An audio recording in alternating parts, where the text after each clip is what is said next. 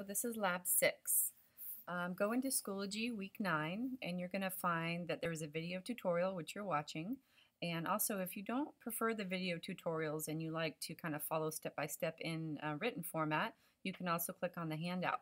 You can use the video tutorial or the handout. Either one really um, will suffice. And then this is where you're going to submit. So if you're going to do the video, go ahead and start watching it. But if you're going to do the handout, go ahead and click on here and just kind of follow along here. There's a lot of steps, so don't get overwhelmed. Um, you'll find that once you get the hang of this, you're going to be doing this, um, you know, within 10 minutes you'll be done with this when you do this to your photos. All right, so the very first thing you're going to do, um, you might want to go to the handout because the link for the image that you're going to be editing is in the handout. So number two in the handout, just click here and this is going to open up your uh, my drive and I've shared this image of this sunflower with you. I took this picture um, out in the fields of woodland when the sunflowers were all lit up and that's kind of a neat place to explore when that happens so I encourage you to do that next year. Alright, so you're just going to download this picture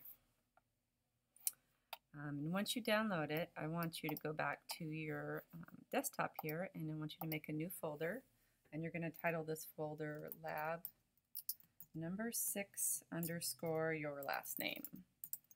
And my underscore buttons are all messed up right now. Okay, so you're going to have that sitting there. So double click on that, open it up, and I want you to drag that image that you just downloaded into this folder so you have that to go. All right, so once you have it on the desktop and it's no longer here, I want you to put it in Photoshop. Don't worry about Bridge because we're just doing this one photo. All right, so we're going to kind of close that up and maybe going to minimize this just so it's not in the way. All right, so you're going to go through your Photoshop um, 5 workflow, the first couple steps. Anytime you open up a new photo and you do this, you should be going through these steps. So very first thing is assign profile. You're going to notice that this image, um, because I took it with my camera, it's actually not the right profile, color profile. So you need to switch it to Adobe RGB 1998. And then the next thing you do is you want to create your background copy. So again, control, click, duplicate layer. I just call it background copy. Doesn't you don't need to waste my time renaming it. And then you want to go up to filter, sharpen. And, and if you didn't know this, you can move this around and find a really good spot to look at. Remember your radius is always one. And then I'd take it way over here just so you can see what happens when it's super sharp. It's too grainy. So I like to kind of take it down sort of right before I see the grain pop up. So I'll take it to the grain and then I back it up. Okay, click OK. All right, so the purpose of this workflow lab is we're going to learn how to do selections. So for this lab, we're going to select the sky and save it. And then we're going to adjust it separately and we're going to select all of the shadows that we see between the leaves and on the leaves and inside the sunflower as a separate selection and then adjust those. So the first tool I want to point out to you is this tool right here. Okay, so there's two options here. We have the Magic Wand tool, which is a selection tool, and a quick selection tool. Um, the first one I want you to start with, which is actually one of the easier ones, is the Magic Wand. Now there's a couple different ways you can find this. You can hold the control key down and click and you're going to choose. Or if you get super fancy, you can hold the option key down and just click and it's going to switch back and forth. So we want the magic wand. Now a couple things to notice up here in the settings. I want you not to be clicked on the one box but the overlapping box. This is what we want. And then we also want to pay attention to our tolerance here. The lower the tolerance, the smaller the selection, and the higher the number, the bigger the selection. So I think that 20 is pretty good. So I'm just going to click on this. And what it does is it grabs everything in this area that is similar to what you clicked on. So I can actually go through and I can kind of click on most of the blue and capture it. Now this is a fairly simple image here, um, very distinct graphic uh, petals to the flowers, so it's easy, it works, right? Um, if you want to zoom in on the photo, which I really recommend that you do, especially for the detail work. I'm going to go in here and you can start clicking on all these little blue negative spaces that you're going to see. And because my tolerance is pretty low, um, it's working, which is great. Sometimes this doesn't work. If you have fuzzier edges, um, it just does, it's not going to work. It's going to kind of fill into spaces you don't want it to fill. So our, the point is we're trying to grab the sky, all of the little bits of sky that we see. And the more detailed we can get with this, the better. So I'm going to really kind of go through all the petals and pay attention to where my sky is.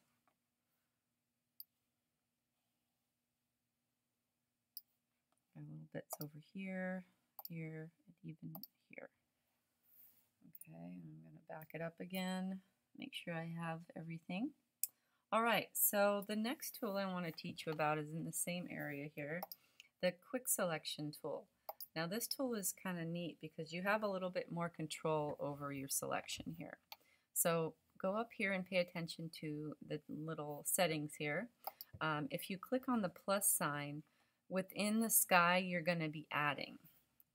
So let me show you what I mean by that. So you could add more. You could push it. You actually are kind of like painting it. So if you wanted to push it in, but then you realize, whoops, I went too far. I, I didn't want to push it beyond those petals there. So you go up to the little minus sign and you can push it back, kind of like painting. Um, so it's a really good idea to be super close when you're doing this because then you can really kind of sculpt it into what you want. And you're going to have a challenge here because this, I use a um, shallow depth of field with this shot and so the sunflowers that are off into the distance here are blurrier. So you're going to have to feather this edge really good. Okay, so I'm just kind of trying to capture all that yellow. And then if I, I'm in here and I want to kind of clean this up a little bit, but I'm in the blue. So if I hit the negative sign in here, it's not going to work because I'm not, that's my plus sign. So I'm going to go in and open, expand that. And then it went a little too far, so I'm going to just kind of tease it back. And the neat thing about this is if you can mess around with your brush size. So if your brush is really big, then you're going to push it too far. And if your brush is nice and small, um, it's going to be more delicate. Um, and then you can also mess around with the hardness of your brush. So I'd stay around 13, 14, 15 It's probably pretty good. Okay, so just watch me for a second here. I'm going to just kind of fine tune these little areas. Now that went a little too far because I can tell that this is a highlight on the stem. And this is too, so I don't want that to be blue. Okay, I'm using my little scroll thing here. And again, I'm minusing that because I'm not in the sky. I'm not in the sky, I can push it back. So I might even, I mean, I can even get and kind of capture these little wispy pieces here. But I'm going to have to kind of go back and forth because you can see that it's sort of, and then I can grab that negative space and I can kind of push that out a little bit. I can push this in. So I'm going to go around and just kind of really looking at it, making sure I get all my little areas here. So I'm going to maybe make this a little bigger and then kind of push it back that way. Kind of get in there. And there's a little bit right there. I could kind of sweep in there and get that. You know, little bits here and there. And you'll see you'll, you've missed a couple spots, so you're going to go in there and get that. Now, there's certain things that are easier. Like I said, this is a pretty graphic line. Uh, when you start doing things like hair, it's going to get really frustrating um, because you got all these little wispies. Um, so there's other tricks we can um, tackle if we have those issues. So I'm going to grab that. And we call these marching ants when you see the selection. They're called marching ants. So if you ever hear me say that, that's what I'm talking about. All right, so I think that I'm pretty much good on that. So we have to save this selection or it's going to disappear on us and we're going to be real super frustrated. Another little thing I want to teach you is if you created a selection over here and you really hate the way it looks and you just want to scrap the whole thing, all you have to do is hold down the Command key and hit D, and that stands for deselect, and that will erase all of it. If you don't want to erase all of it, but just a couple steps of selections, just go into your um, history here and just click on one that's a couple steps back, a couple jumps back. Now your history goes about 20 jumps back, so just keep that in mind. After about 20 jumps, it disappears. All right, so to save the selection, we're going to go to Select, and then Save Selection, and we're going to call it Sky. And then we're just going to hit OK, and that saves it. So once we save it, then we can, there's tricks I could teach you later, but I'm not going to go there yet. We can deselect it, so it goes away. And now I want you to select all of the shadows. Okay, so to do that, I think we should use our magic wand because this is kind of cool. You'll really see it grabs everything that is similar to what you clicked on. So it's going to grab all the shadows. I'm going to go around and kind of get the bigger chunks first and then I'll, I'll kind of zoom in and get the smaller chunks. And again, you can adjust your tolerance. So maybe I want to go a little smaller on that just because it's more delicate. And I want to get some of the shadows. You see how it grabs less because I took it down to 15? Or it grabs all of the darkness in those areas. So I think I'm going to bring it in here so I can see better. I even want to get these little areas here. So anything that is in shadow I want to grab. And that's mostly um, because I feel like maybe my shadows in this photograph are a little too dark, a little too contrasty. And I want to um, get a little bit more information from them when I'm editing. I want to look at the photo. I want to see more of what's going on in the details of the shadows. So sometimes I'll just go from corner to corner in a photo. If it's zoomed in, I just want to make sure I'm not missing any shadow areas. And again, if you don't like a selection you did, do not hit Command D because um, it will deselect everything. If you don't like a tiny little selection you did, go up to History and step back a couple jumps. And that will be um, a lot more efficient for you. Okay, so I'm going from corner to corner. Make sure I'm getting all my little, I mean, these little areas don't matter so much. I'm being a little bit meticulous here, but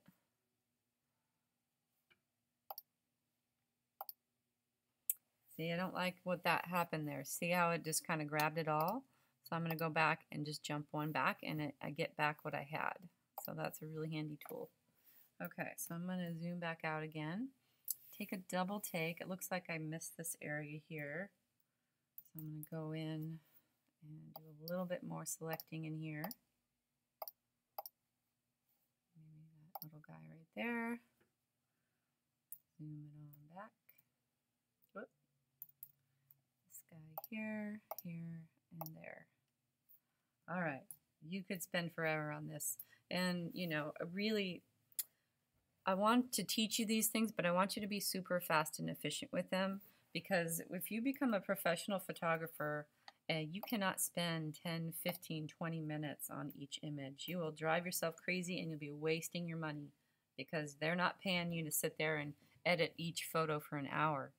So you, you're going to get good at doing these things, but you're going to get fast and you're going to know when too much is too much. Okay. Especially, you got to think about like what you're editing your photos for. Is this a project for you and you care about this image and you can spend hours on it? Or are you editing 150 photos from a wedding and you got to get it done and you got to get paid? So, you know, really got to put it into a context here. Okay, so I have all my shadows. Remember, I got to save it. If I don't save it, I lose all that work. So I'm going to go up to Select, Save Selection. I'm going to name it Shadows. Okay, now I have my sky saved and I have my shadows saved. So I can deselect that. Next step in order to adjust a saved layer, you have to load that selection. So go into Load Selection. We're going to load the sky. You're going to see it pop up there. And the second it does that, and the minute you you click on an adjustment layer, we're going to go to Levels. It creates a new layer. And in this layer, you're going to see this little picture here. And in the picture, the black is what you're masking, you're blocking out. So we're not adjusting that part. and the white is what you're going to adjust. So we're going to adjust the exposure of the sky. So here's our histogram exposure now. You can see there's hardly any dark in the sky. So we're going to pull it this way. Now if you took it all the way, I mean, look at that, darkness, right? But we're trying to be realistic here. So we're going to bring it back and we're going to have a natural curve in our histogram. Now I want you to really pay attention. See this little edge here? We don't want that. That makes the image look super photoshopped. So you got to kind of pull it back so that that edge disappears. So you got to fine tune it a bit. So you want a little bit more contrast in the sky, but you don't want that edge there. Like no, no edge. See how the edge kind of disappears there? We don't really need too many more highlights, so we're just kind of messing around with the contrast here. Okay. Now this is a new step here. We're still going to go up to this layer here, this mask layer, but we're not going to feather here. We're going to go into a more advanced mode and click on Mask Edge. And this is kind of a cool feature because um, it really shows you where your line is, your dividing line between your sections, your selections. So I like to use the red one. You can try the other ones too, but I like to use the red because it's really obvious what's going on there. Um, this is a cool tool because if your selection was kind of sloppy, you can shift the edge of your selection. You can drag it bigger or smaller.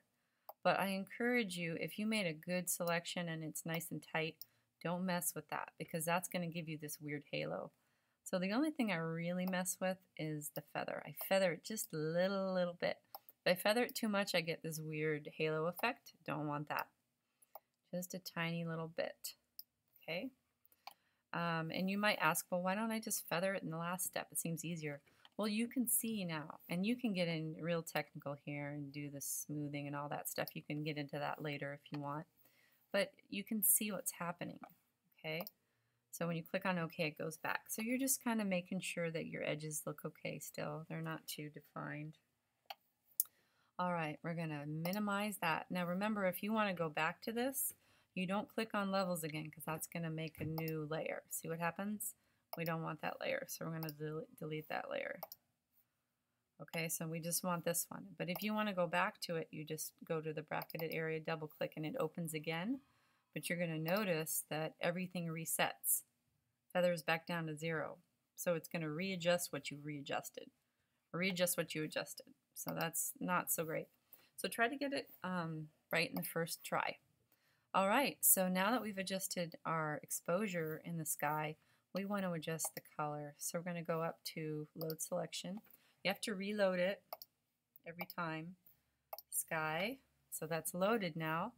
And now we're going to adjust the color balance. Remember, we're not using hue saturation, we're using color balance.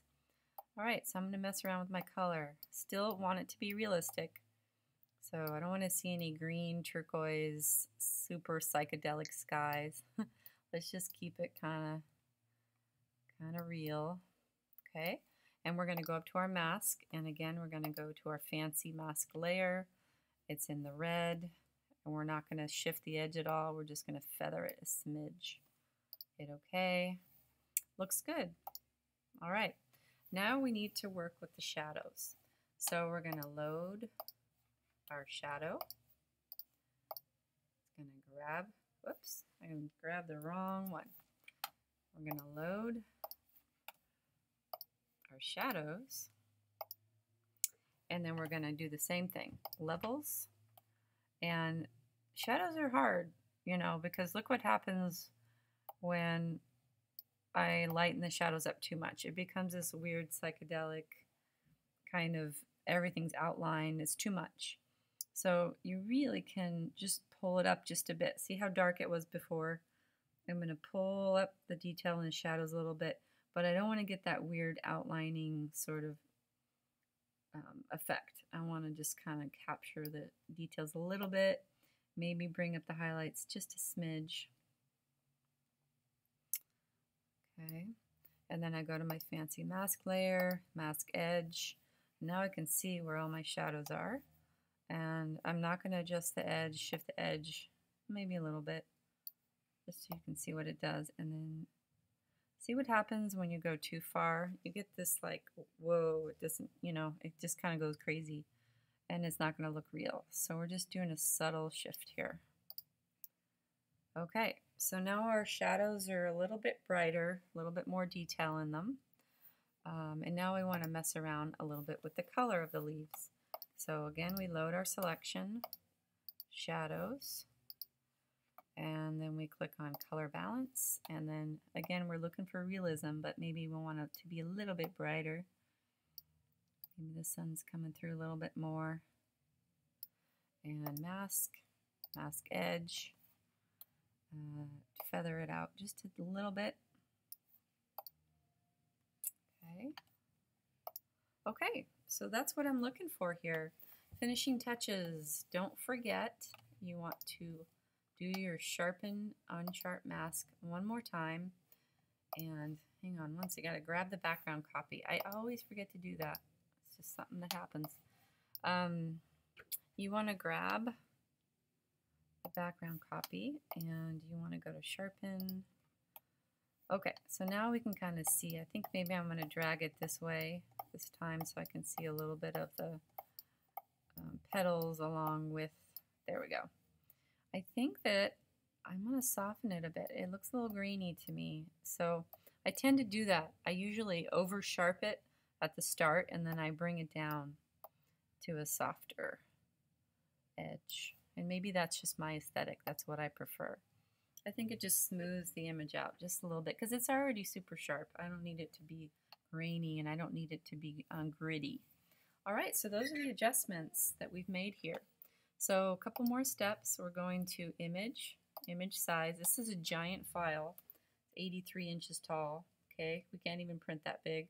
So go to your tallest, your widest or your tallest, and change that to 17, and then make sure your resolution is 300. Okay, and then you're going to save it. Save as. Um, you're going to say lab number six your last name. And you're going to save it as a PSD. It's going to go straight to your folder on the desktop, which is awesome. Hit save. And then, of course, you're going to save it as a JPEG as well. And JPEG, save. Okay. All right, minimize that. Before you close it, let's look at what's in here. So you should have three pictures. You should have the original, and then you should have your JPEG and your PSD, JPEG PSD. So what I want you to do before you close everything down is open that up again and look at the original.